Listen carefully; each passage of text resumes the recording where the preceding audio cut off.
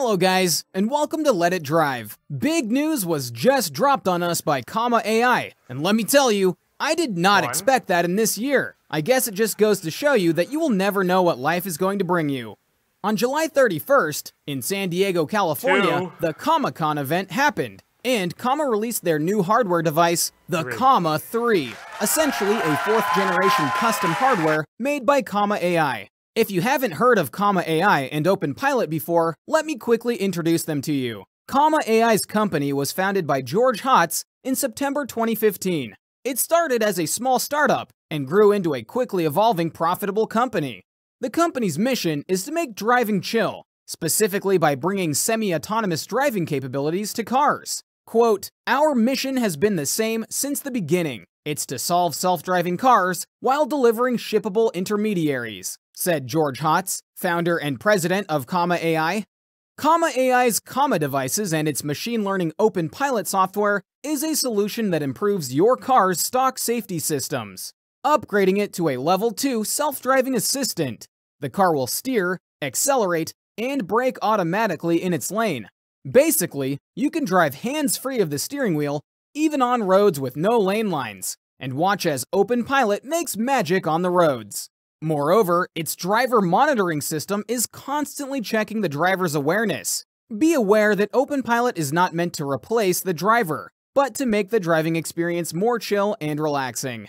Anyways, back to talking about Comma AI hardware. At the time of making this video, both products were on sale at Comma AI's website, and according to Hotz, there are over 700 Comma 2s in stock, and they are still selling them.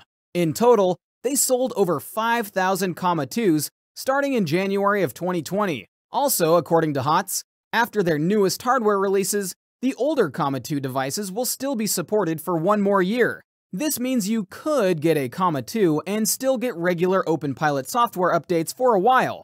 But already we are seeing differences. Comma 3 gets navigation as a new feature. The Comma 2 doesn't have that. But don't bury your Comma 2 just yet. In 2020, Consumer Reports ranked this aftermarket driver assistance kit as even better than the stock Tesla autopilot feature and Cadillac Super Cruise. The new and beautiful Comma 3 device with upgraded hardware starts at $2,199, plus an extra $200 for your car harness. If you want to splurge, you could consider their special Cross Country Edition device, which comes with improved SSD storage space. This will run you another 600 bucks, putting the final ticket price at $27.99. Oh wait, it doesn't just come with more storage, but also this cool cross-country logo. Existing Comma 2 users don't need to buy a new car harness when they are planning to replace their old devices, as they can use their previously purchased harness, which will make it a simple plug-and-play upgrade. Compared to the Comma 2, the new device is double the price. But knowing Comma AI pricing strategy, the price can mostly go in one direction, and that is up. This is because the system is getting better over time and new features will be added. This is a similar pricing strategy as Tesla's full self-driving feature. But still, Comma's product is way cheaper and already supporting over 100 different car models and makes. This list of supported vehicles will continue to grow over time as Comma continues to work on developing VOACC, which stands for Vision Only Adaptive Cruise Control. I think it will be similar to the Tesla Vision system, which only uses cameras and so-called neural net processing to detect and understand what is happening in the environment surrounding the vehicle and then responding appropriately.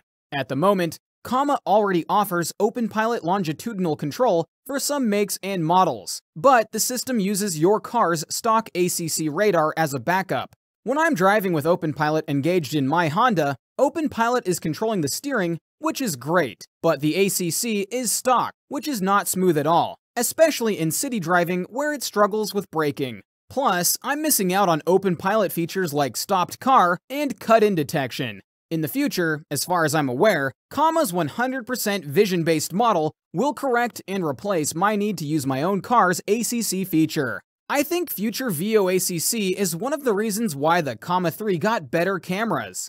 Three 1080p cameras have 120 dB of dynamic range, which is two generations ahead of a leading electric car maker. 360 degree vision means it can detect vehicles that are driving next to your car, and hopefully see traffic lights that are high above the car, plus a narrow camera to spot objects far off in the distance, which is especially good for detecting cars far ahead and also traffic lights and stop signs. At the moment, OpenPilot does not brake for traffic lights nor stop signs, but I think this will be a thing in the future.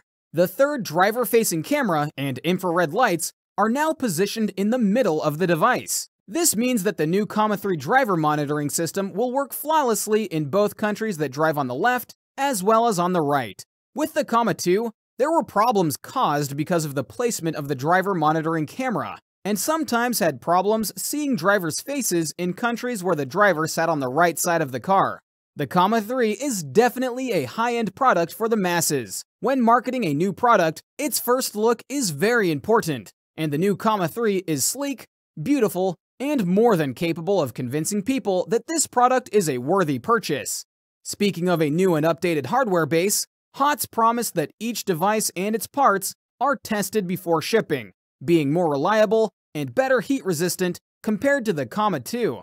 I would hope that this means we can expect a warranty against hardware defects to be extended to two years instead of just one, but we'll have to see. As a Comma 2 user myself, I have been testing the product for over 6 months, and have racked up 10,000 miles of drive time. At the moment, I'm not planning to replace my Comma 2, because I'm already restricted by my Honda's limited steering torque. This means even if I upgrade, I won't have access to the complete OpenPilot experience. I'd rather upgrade my car first to something like a Toyota. But if I were you, even remotely interested in self-driving tech, I would pick up the Comma 3, because it's only a matter of time before the difference in old and new hardware becomes very apparent.